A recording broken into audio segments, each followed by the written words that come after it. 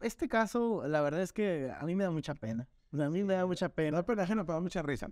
La verdad, sí me da mucha risa. A, a mí me da mucha, a mí me da pena ajena. O sea, realmente yo lo dejaría como pena ajena. Pero bueno, tú eres más maldito que yo. No, no, pues que a mí, a mí sí me da risa. Y basta con que vea usted en los videos y los escuche, pero resulta que los blanquitos del colegio, este, los que, Los manos tersas. los manos tersas, los que nunca llevaron loncha a la escuela, No, los campanitos.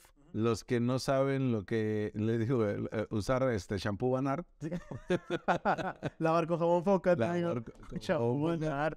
Se lo usaba, maldito. lo que no saben es a- abrir un shampoo banar de esos de cuadritos ¿De y, y- y comerte la mitad de- del shampoo. Pero, pero bueno, ellos no lo saben. Pero veamos, este, ahí tiene una página de internet que acaban de abrir y que les hasta le estamos dando publicidad. Sí. Que vean que no somos mala onda. El tío Ine se llama, este, pueden buscarla ahí, ver sus videos. Y pues vamos viendo videos, vamos viendo videos para que usted se dé cuenta, este, ¿A qué nos referimos? a qué nos referimos. Hey, people, por favor y por tu bien, vamos a defender nuestra democracia. Por favor, te invito, o sea, no te invito, tienes que ir a el domingo 26 de febrero a las 11 a.m. por la lucha. Por favor, no te quedes dormido. Arriba, levanta ese ánimo, ¿ok? Te espero ahí, brother. ¿eh? Arriba los chavorrucos. Arriba los chavos. Pero, Usted ya no es chaborruco, ¿eh? Nosotros podemos quizá entrar en el término de chaborrucos. oye, pero es, es- lamentable. Pero no solamente eso. ah, También usaron las mascotas de los equipos. Y ahí nos dimos cuenta, pues, si el... ¿Cómo se llama el solazo? Sol, sí, solazo. Pero, este, pues, ¿de qué lado está? Ideológicamente, al menos. Son INE. No, no habla, pero sí, este, representa esto. Ahora sí habló. Ahora sí Vamos a verlo.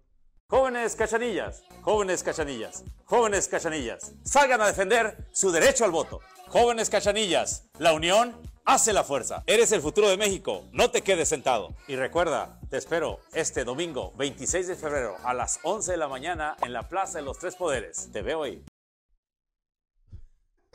Ya no lo vi, ¿eh? Por cierto. Es la mascota de Soles de Mexicali. Y seguramente si fue, fue entre el acarreo de vehículos que llevó Pinza. Oye, y ya ven por qué no va la gente a los Soles de Mexicali. Bueno, ¿por qué no llenan? ¿No? Por una medida popular como Sí, esta. exacto. Este, pero no solamente eso, porque también, principalmente, el, lo- como los videos van dirigidos a jóvenes, también los jóvenes lo protagonizan. Claro, vamos a verlo. ¿Has escuchado que se cayó el sistema en los últimos años de los 80? Pues ahora va a pasar una secuela y normalmente sabemos que las partes 2 son mucho peor. El plan B de la reforma electoral permite que pocas personas y no capacitadas completamente estén contando los votos. Ahora sí, ¿crees que tu voto va a estar protegido? Déjenme saber qué piensan ustedes aquí en los comentarios y díganme si ustedes también son fan de las secuelas. El problema es que nadie comentó nada. ¿No? Nadie, absolutamente nada. Oye, pero no tiene nada que ver la caída del sistema con el tema ahorita de la reforma. De, de- o sea, e, es, La política del terror Sí. de la derecha. sí, la, de, la, la ultraderecha, de la desinformación, de la política del terror y apelando con una musiquita este, de, elevador y con un enfoque que es- quieren vernos, decía el Villa el otro día cuando analizábamos este tema, como si estuviéramos tontos todos, ¿no? Sí, eso, Como si los jóvenes estuvieran tontos. eso es lo que me molesta porque pasó lo mismo del año 2000-2006. La dinámica, la forma en la que reventadora de, este- de esta visión derechista, por un lado, y por, para generar terror, y por otro, condescendientes, tratando de hablarnos como tontos. Si se le ha criticado a López Obrador el paternalismo que tiene de repente por el tema de los apoyos sociales, esto es prácticamente lo mismo, solo que desde la oposición.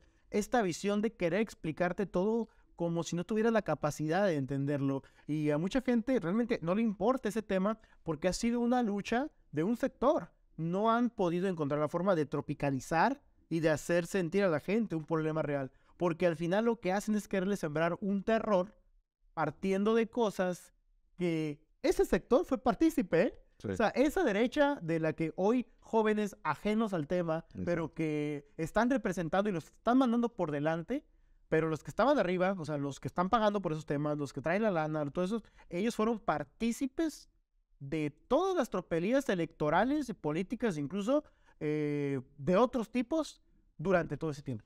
Y también hay otros eh, mis reyes que también están haciendo lo mismo. Escuche otro video. Cuatro cosas que van a pasar si aprueban el plan B de la reforma electoral. Número uno, filas enormes para ir a votar. Menos dinero, menos casillas. Si hay menos casillas, más gente para ir a votar. Verano, calor, no va a estar padre. Dos, menos personas para organizar las elecciones, menos personas para contar tus votos, menos certeza para tus votos. Se va a volver a crear el sistema. Tres, los servidores públicos van a poder usar su poder y tu dinero para promoverse y hacerse una autocampaña y tener ventaja. Y cuatro, Línea va a perder la capacidad de sancionar a todo aquel que se pase de... ¿Tú qué opinas? Déjame saber en los comentarios. Todo lo que dijo es mentira. No, Todo, todo, todo. todo lo que digo.